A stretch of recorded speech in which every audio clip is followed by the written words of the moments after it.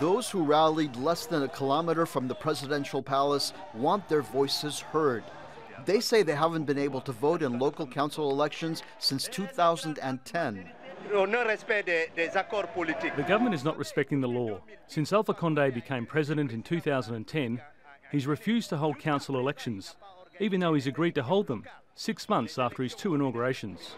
The government postponed an election due for February, while the head of the Election Commission was fired last week, despite internal support.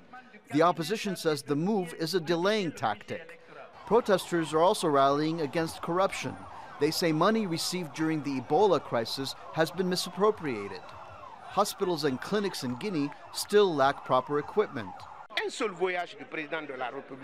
One trip by the president to Europe can buy two or three medical scanners. Government ministers' families receive medical treatment abroad and have no interest for the needs of the population here. Protesters say those needs include better pay so that people have more than one meal a day. They argue new taxes are driving fuel and commodity prices up and wages down.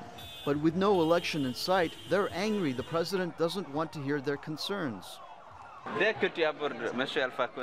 If you ask Alpha Conde about another term, he will get very angry. He has driven out journalists. He thinks he has the right to modify the Constitution the way he likes.